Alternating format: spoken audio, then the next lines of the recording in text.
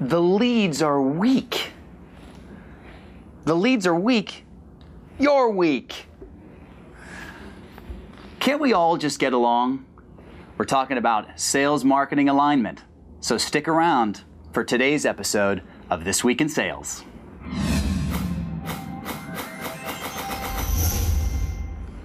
Hello and welcome to This Week in Sales.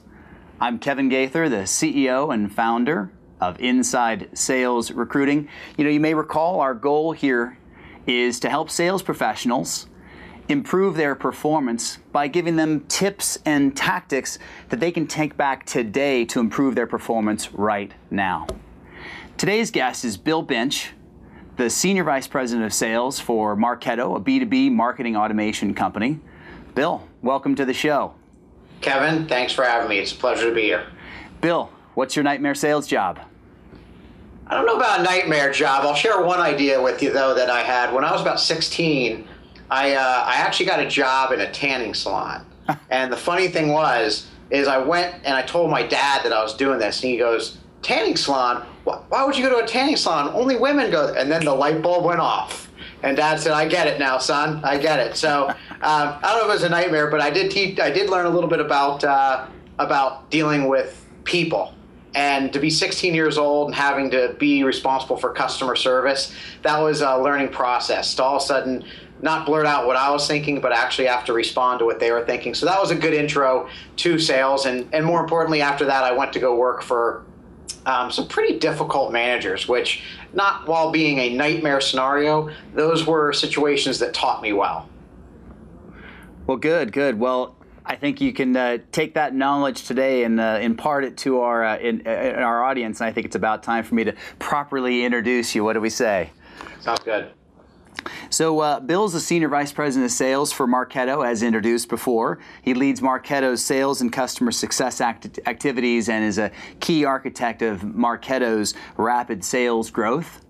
Marketo has actually seen nearly 1,500% uh, growth in revenue over the last three years to $14.3 million in 2010 to take the number one spot in uh, on the list of fastest growing Silicon Valley private companies. That's awesome.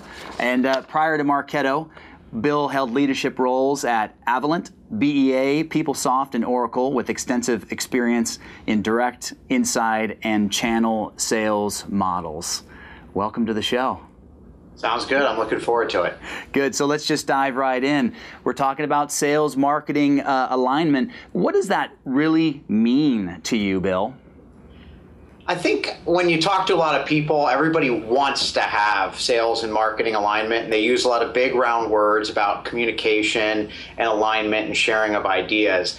But to me, it really comes down to a couple of key things. I think it comes down to definitions and metrics, Kevin. Well, good. So let's let's talk about some of those uh, those definitions. You just used that big broad phrase. I'm going to ha- uh, pound you a little bit here. We got to get deeper here for our audience here. What sort of definitions should we get clear on, and what sort of metrics should we be tracking that tells us if we do or do not have good sales marketing alignment? Yeah, starting on the definitional side, the first thing you want to think about is your standard funnel, you know, from the top of the funnel down to the narrow point at the bottom. And every company has their own names, but I'll just throw out some common ones that people have that run through the funnel. Suspects become prospects, prospects become leads, leads become opportunities, and opportunities become sales. If you look at those, those defin- those each should have a definition attached to them. Everybody knows what a closed sale is, right? I have a piece of paper in front of me with the customer signature. That part's pretty easy. At that part, working back up, that's when it gets a lot more blurry and a lot more difficult. And I would guess that if you went to most B2B companies and asked the head of sales in one room and the head of marketing in another room separately, hey, what is the definition of a suspect, of a prospect, of a lead? I'll bet you you would get a different answer from those folks 90% of the cases and that's where the big round words are all used but the, the true definitions haven't been agreed upon and so that's the first thing i think you need to think about when you start, start talking about sales and marketing alignment is you need to have the sale the head of sales and the head of marketing in the same room nodding their heads to what the definition of those different those different stages are. And once you get that, that's I think the starting point to launch on true marketing alignment. Mm, okay, good, good. I, I, think you're 100% right. And uh, one of the best things that we did at business.com several years ago was getting clear, strangely enough, this was a long time ago, what did a closed deal mean? And the reason we had problems in that regard where a salesperson thought that collecting the insertion order meant that that was a closed deal and it wasn't live on the site and it wasn't generating revenue. So there was a salesperson that would have a pile of insertion orders but wasn't generating revenue because we didn't have a common definition, not only at the top level, but also on the individual contributor level. Uh, level. So I, I couldn't agree uh, agree more there. Um, another thing that we did at Business.com was to, with sales and marketing, the marketing leader got us in a room, got the top salespeople and the directors and the VP of sales in the room, and said, if you guys were to create your own leads, what would those leads look like? And through that conversation, it became uh, very. We we came up with like the marketing qualified lead. You know what it meant for for the marketing qualified lead. Uh, you know from there, and that was uh, a, a, real eye opening uh, situation for us because marketing knew what we were looking for at least at that point in time. well, I, I, think that's exactly right, and you know, use the term marketing qualified lead, which is I think a more granular level below the suspects to prospects to leads. You know, you get the marketing qualified leads, sales accepted leads, different stages like that that are subcategories that also implies a certain level of sophistication that I think that you have if you're using those types of terms. And that means that you're probably further along on the, the experience or the, the sophistication curve of marketing and sales alignment. I, I tend to start at that top of that funnel and I tend to start on January 1st of a, of a new year or whatever the first day of someone's new fiscal year is and I think at that point there should be that tied off communication, that the definitions of what the terms will be and what they mean. Um, I think the the next thing that the that the people need to have is the um, the aside from the the definitions tied off is they need to have an agreement of what their expectation is that sales is going to generate for the year as well as marketing. And I think the best run organizations I've seen have some discussion around that. That there is a uh, an accountability that marketing has via a percentage. Maybe you're supposed to drive 60% of the leads, and versus sales, you're supposed to drive 40%. So that's the the second step, and that that kind of leads me into the piece about the metrics. So there's the definitions. Mm-hmm. First, having the agreement. That to me is the natural place to start to drive sales and marketing alignment. The second the second place is the metrics. If you want to explore that, I'm happy to share some ideas around that. I would. Let's let's just talk about the top three. I mean, if you were going to start at a new company tomorrow, Bill, um, or or step into a to a you know consulting opportunity, what what would be the three metrics you say? Without these three, we don't do anything as it relates to sales marketing alignment. The first three are actually fairly sales focused things. I'd need to walk in, understand what's the average sales cycle, mm-hmm. what's the average sale price, and then I'd probably want to understand what kind of quotas do the reps carry so I can start determining is this an enterprise type of cycle that, hey, the reps carry a million dollar quota and the average sales cycle is nine months and the average sales deal is 500K? That tells me that reps probably only going to do a couple deals a year versus if someone tells me that they've got that same million dollar quota but they've got an average sales cycle of 15 days and the average sale price is 5K, I can quickly do the math, start determining how that, that sales machine needs to have lead flow being fed, which ties me back to the marketing and sales alignment. At that point, the two key things that I'd really look at over on the marketing side, I shouldn't say two things, I'd probably look at three things. I'd look at at the highest level, how many how many names do we generate, right? Whatever that is called inside your organization a suspect, a prospect. How many names do we generate? Trade shows, banner ads, you know, advertisements, radio, whatever your sources of your marketing mix are for generating business. I want to know how many how many uh, names do we generate on a monthly, quarterly, whatever the key time frame is I need to see.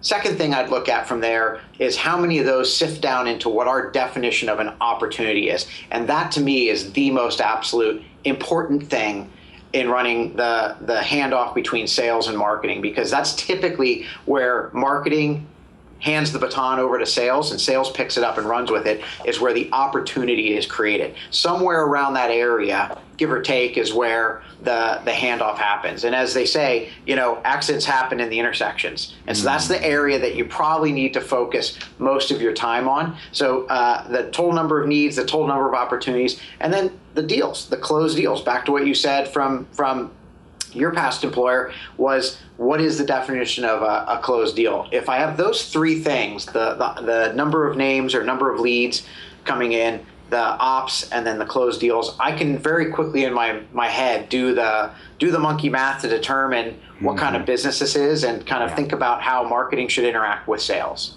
Right. No, I love that. I mean, you, you sort of you're thinking about it in, in with, with this real pipeline view of let's say there's 10,000 uh, suspects created and of those 10,000 suspects there's a certain percentage of those that are going to turn into uh, qualified opportunities and then a certain percentage of those that are going to turn into the conversion into the actual deals. And then like you said you're using the monkey math. Never heard that phrase before. I love it.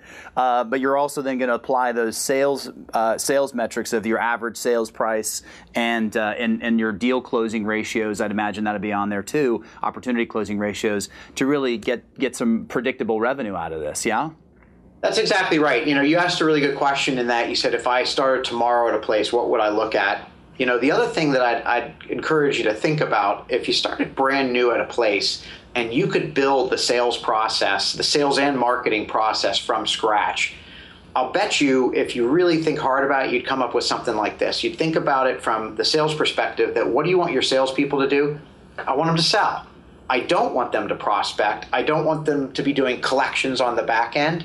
I want them doing that middle part, which most sales folks would kind of define as the qualification and discovery stage to the negotiation and close, right? Most sales reps that I meet you know, I mean, I'll I do a lot of interviews in this office, and folks come in and I say, hey, tell me a little bit about your skill set. Tell me a little bit about your sales DNA. What are you great at? And they'll be like, oh boy, Bill, I can segment and parse a territory better than anybody's business. I can, before I ever jump on the phone or do an email, look at how to break down a territory by industry, by size, by vertical, by whatever go, wow, that sounds great. And then the next step is I am great at jumping on the phones and prospecting, sending emails, veto letters, smoke signals, whatever it takes. go, wow, it sounds great. And then they say, and then qualification. Once I get them on the phone, I am perfect at qualifying, understanding deep dive level discovery stuff. Wow, you sound like a wonderful sales rep. I am, Bill, but it gets better. And then they say, then I go and put the whole deal structure together of the strategy for demos, for competitive, for partners, for pricing, all these different components. I weave them together. I pull the team and resources together and I put them on the ground.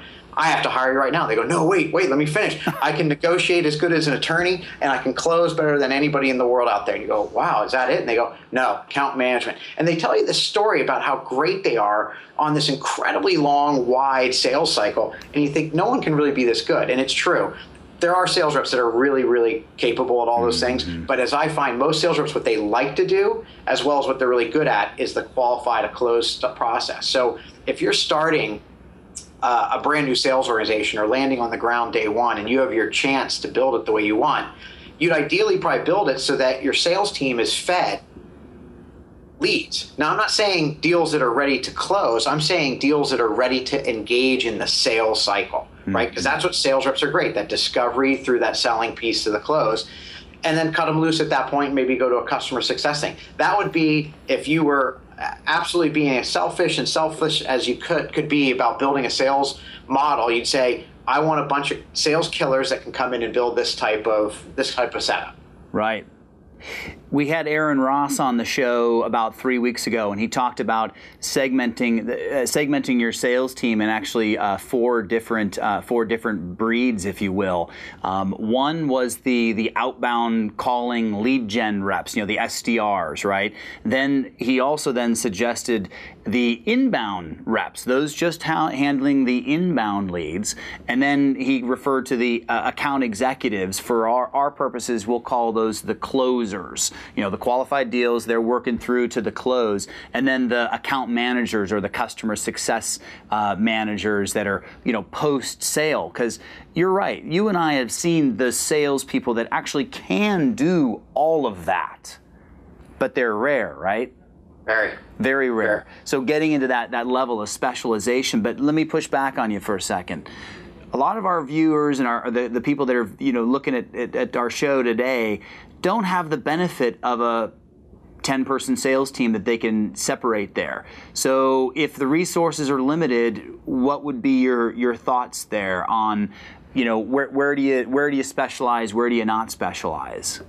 Yeah, I mean, in an ideal scenario, the four that Aaron described to you, I think, are right on because it also builds you that that feeder supply chain of reps, right? Your maybe your inbound folks become your outbound once they get a little more senior. they graduate to be the AEs, and you know the AEs maybe go to be outside reps or whatever that type of thing. So that type of model does work if you have the benefit of having some scale and having the uh, the budget to be able to build that type of model if not otherwise, then I think what you're going to do is you're going to fall back to a scenario where a sales rep carries a much bigger load of the of that wide that wide berth.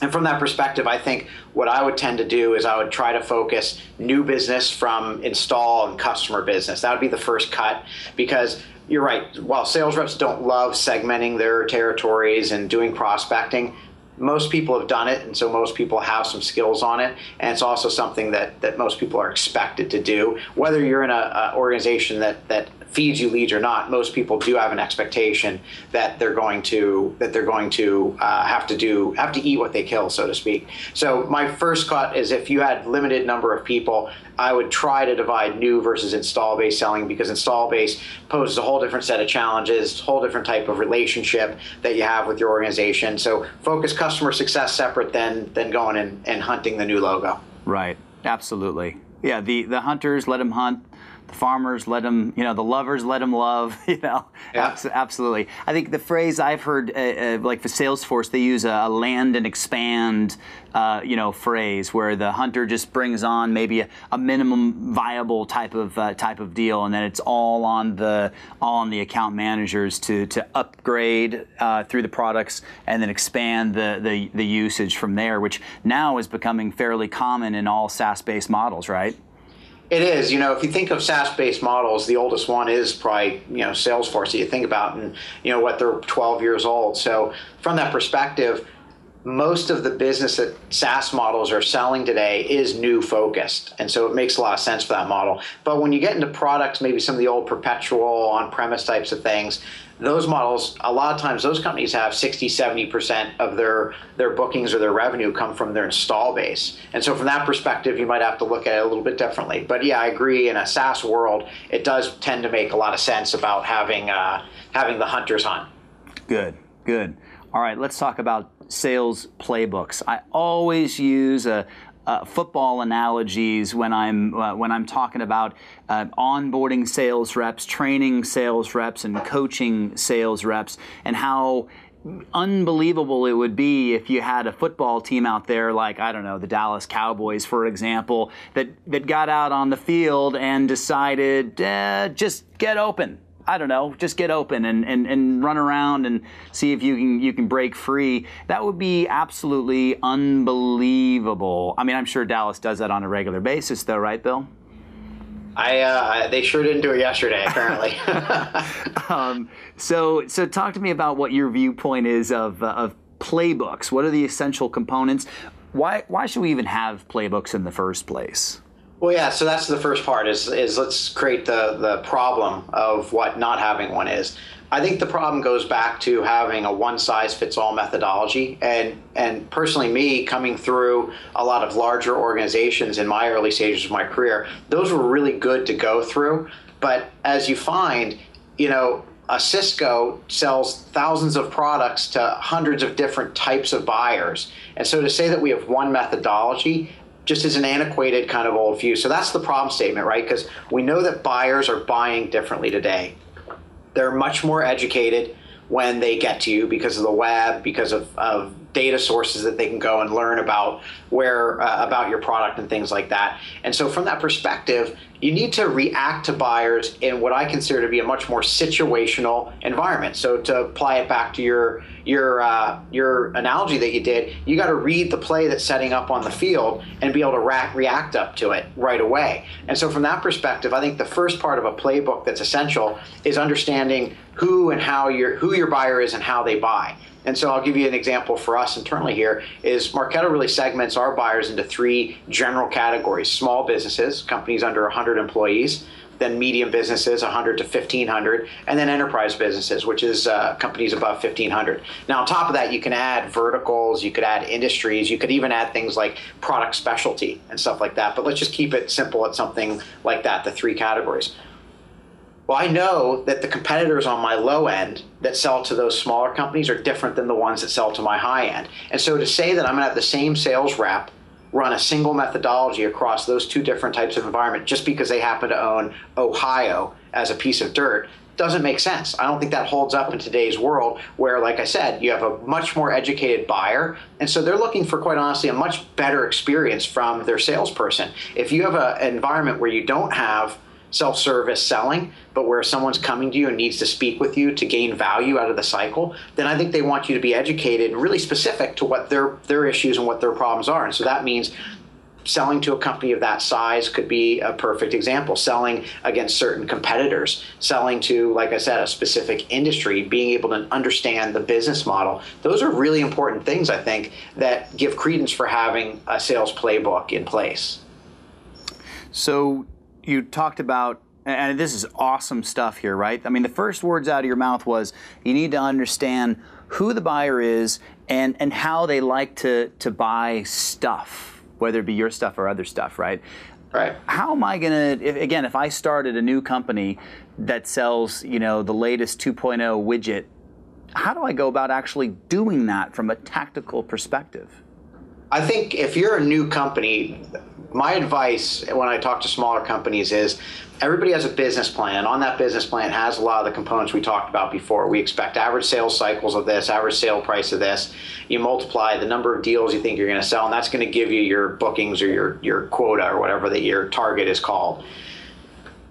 I really advocate that if you're a brand new young company starting up, don't worry about average sale price and average sales cycle. Worry about logos. Go out and get business because what's going to happen is if you give yourself one, two, or three months, you're going to go get some deals done. You're going to look back and you're going to see naturally what's settling in to be your average sales cycle and your average sale price. Once you have those, then you have some time to start understanding how your buyer is buying. Now, you got to say, if you're starting a company, it probably means that you have some experience in that kind of product or that kind of market that you're selling to. So you're probably going to have some input. You're probably going to have some people that have the DNA of whatever you sell inside that company and are bringing some past history. So you're going to have some ideas. But I, I do think from starting up, focus on transactions. Don't focus on dollars because dollars can mislead you because sales rep if you're really if you're really bonusing them and paying them on a performance on a comp plan and as we know comp drives behavior if a sales rep is comped on the bigger the deal hmm. at an early stage of a company maybe they hold on to something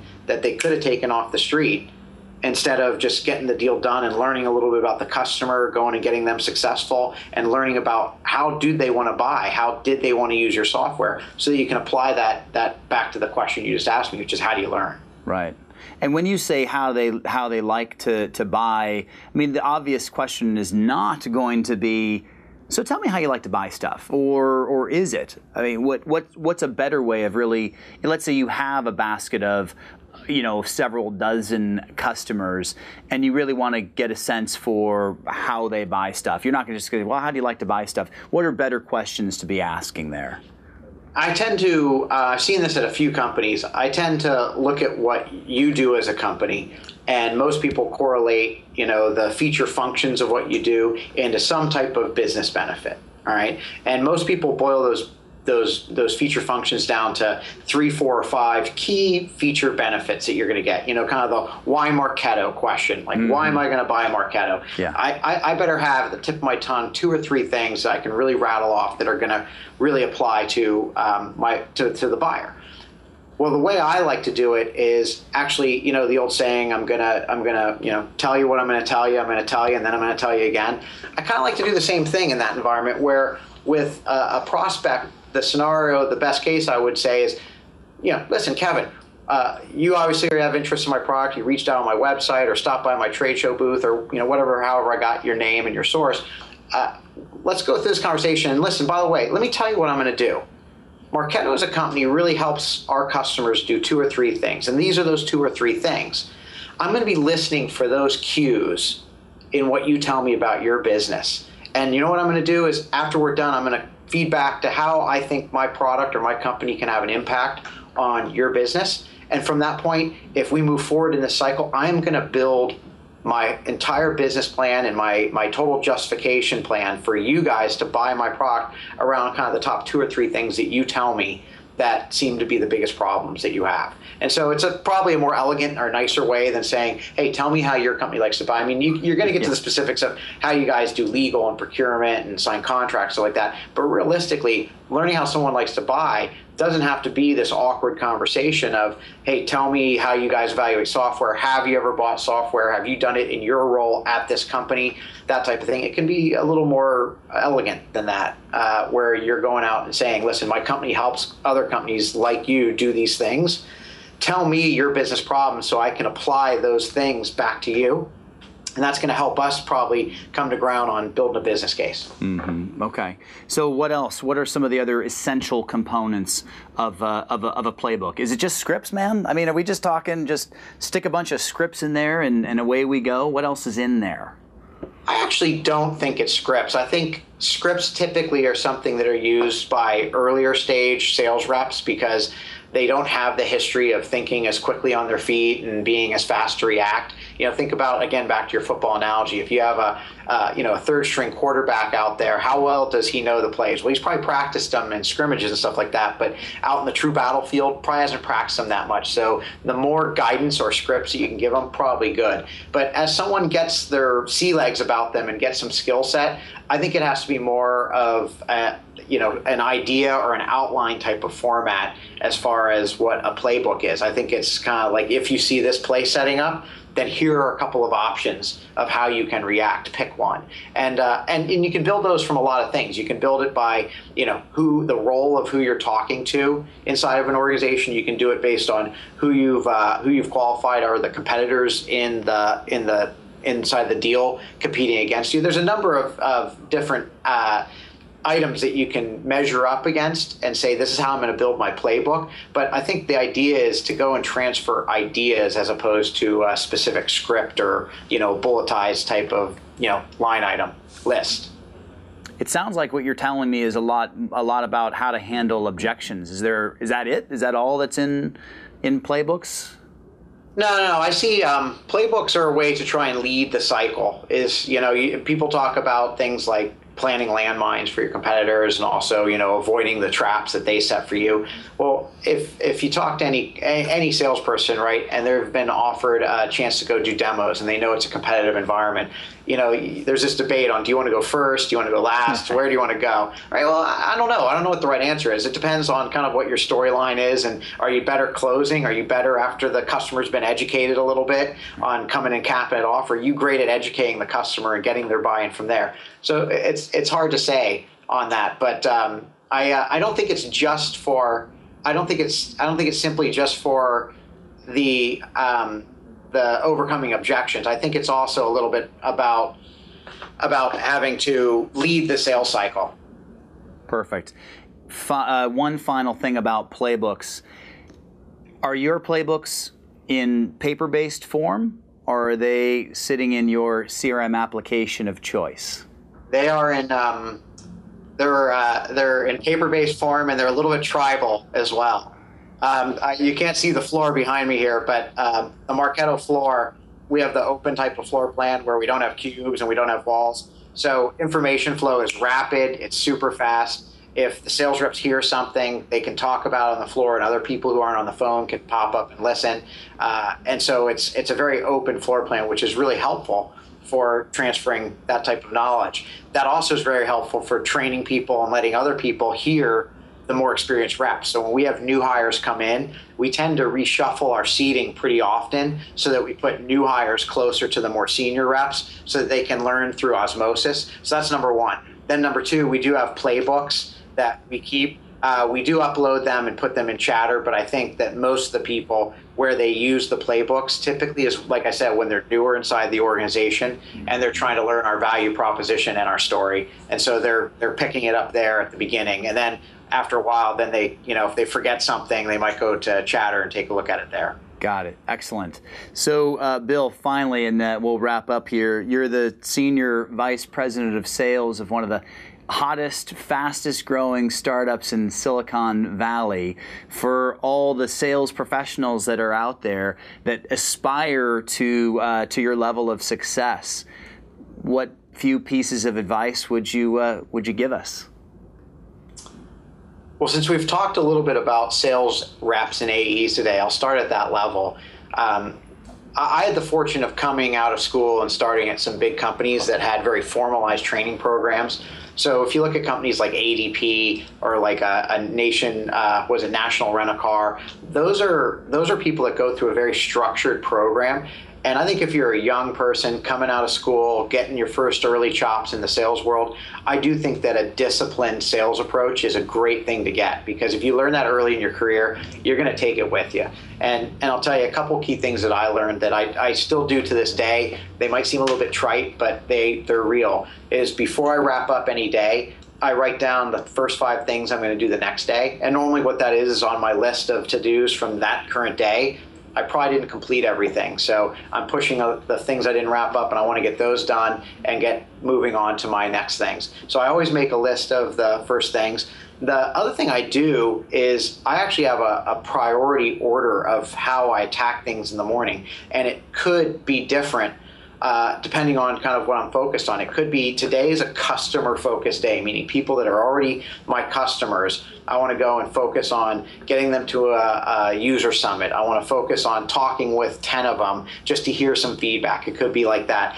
Uh, it could be grouped into something like uh, channels. I want to focus on my channel relationships today. And so I do tend to not only make the, the, the very distinct itemized list of the things I'm going to do, but I try to group it by a task, which could be, like I said, customer or prospect facing or marketing interaction or channels or something like that. So those are a couple of things. Um, the other thing that, that I, I think that is um, that I'd share is I have a sales rep here on our team named Kevin, and this is his second sales job. His first one was at a small company, really no sales training, no structure, no playbooks, nothing like that. So he's come in here and he's kind of worked his way up through the process that I described earlier. Started off as a, uh, an SDR, kind of an inbound qualifier, moved over to the sales approach, and um, and we went to a uh, conference together and he was talking to me about how great it was to travel and i was helping him like to little things like here's how you pack a suit jacket you know mm-hmm. so it doesn't wrinkle you know the most basic things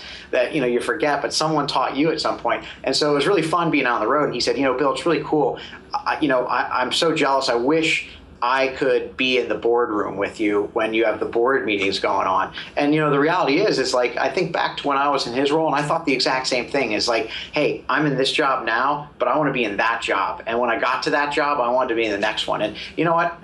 There is a certain fun aspect. It's neat to be inside of a boardroom at a company like mine where we're helping planning the strat, helping plan the strategy and the future direction. But there's also a lot of work that goes with it. And so my my kind of key finishing point on that is uh, I told Kevin is, hey, just whatever you do, make it last where you are because I was always in a rush to get to my next step. And once I got there, I just wanted the next one. And so I don't think I enjoyed it as much as I could have. And, uh, uh you know, I'm sure you know what it's like. You know, you go off to New York City for a conference and you're thinking, New York City, this is great. Well, what happens? You land probably at midnight, you get in a car, go to your hotel, get up super early, you go into a conference room from 8 a.m. till 6 p.m., go off to some dinner till 9, 10 o'clock, and then you go back to your hotel room. Meanwhile, you it wouldn't have mattered if you're in New York City or Ottawa or wherever. You know, the fact is that you were just in some space, and so that's one of those things that I try to always make some time to say, take a deep breath and appreciate and make you know what I have going right now last a little bit. That's sage advice. I love it. Well, thanks, uh, thanks very much. That's all we have for today. Bill Binch, wonderful having you on the show. Thanks so much for joining us. Appreciate you asking me, Kevin. Very good. So, uh, if you have any sales questions or a sales topic that you'd like to present to us for next week, we've gotten a lot of feedback over the last several weeks. Um, you can feel free to email me at askkevin at thisweekin.com or tweet at us at Sales Week. Of course, you can like our Facebook page, This Week in Sales, or go to our YouTube channel, which is youtube.com forward slash show forward slash This Week in Sales. And of course, don't forget to subscribe to our podcast on iTunes. Stay tuned for our show next week where I have Dr. Chris Croner on author of Never Hire a Bad Salesperson Again. And wouldn't we all like to never hire a bad salesperson again? Thanks for joining us this week. Have a great day.